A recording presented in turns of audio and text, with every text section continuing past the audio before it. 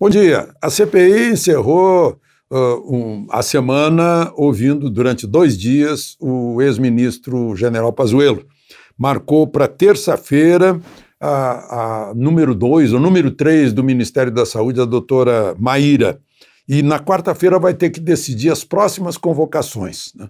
Ontem, o, o senador Girão, que representa o Ceará, que é autor de um dos requerimentos, é o que tem mais assinatura, né, 45 assinaturas, reclamou que estão ouvindo só um lado, uh, só querem incriminar o governo federal e o presidente da República, mais exatamente, mas estão esquecendo que o presidente da República, o governo federal, mandou, cento, mandou no ano passado 112 bilhões para estados e municípios, e fez mais 40 bilhões de transferências patrimoniais e houve muito, muito desvio e que isso precisa ser investigado. Chegou a sugerir que se investigue, que se chame o senhor Carlos Gabas, que foi ministro da Previdência de Dilma, ele levava Dilma de, de, de, garupa na moto em Brasília e agora é o executivo desse consórcio do Nordeste que tem eh, compras de centenas de respiradores que até hoje né, que foram pagos e não foram,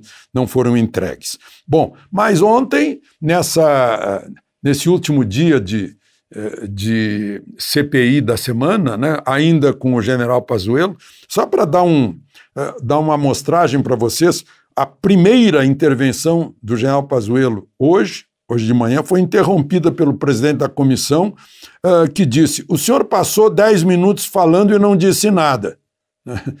Então, já foi interrompido assim.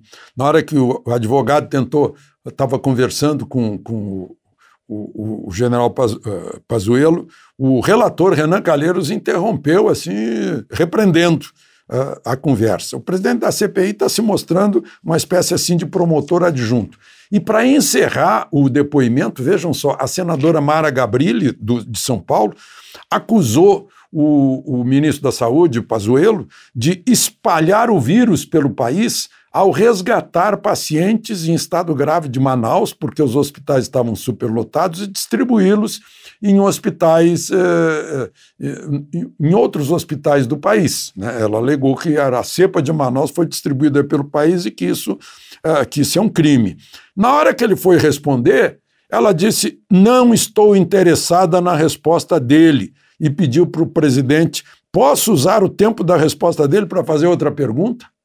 Imaginem só. Né? E teve um, um, senador que é, que é delegado do Espírito Santo que chegou a ameaçá-lo de prisão, parecia o delegado enfrentando lá um, um meliante, tentando a, a, intimidar o meliante, dizendo em que, eh, em que artigos do Código Penal ele estava sendo incluído.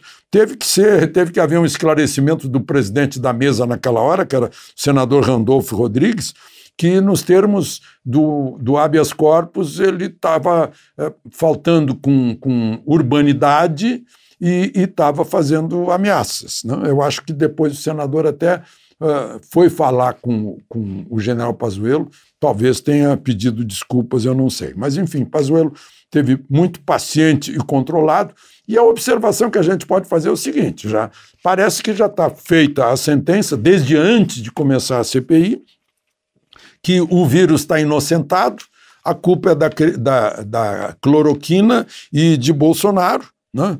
E, e, enfim, eles até esquecem, né? eles acusam Bolsonaro de provocar aglomeração, mas antes tinham dito que Bolsonaro não tinha público. Né? Então fica, fica uma coisa meio é, esquisita. Eu, o, o general Pazuello, enfim, controlado e paciente, respondeu a todas as perguntas, não se valeu do habeas corpus para ficar em silêncio.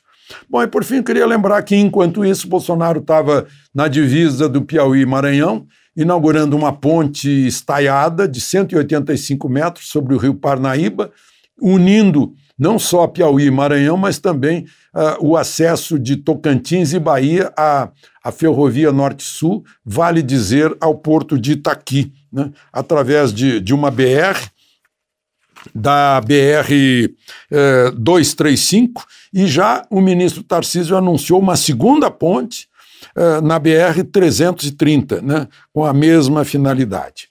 Enfim, foi, foi um dia movimentado, né? não só para um ex-ministro, mas também para o próprio presidente. Ele costuma fazer essas viagens, inaugurações e visitas às quintas-feiras. De Brasília, Alexandre Garcia.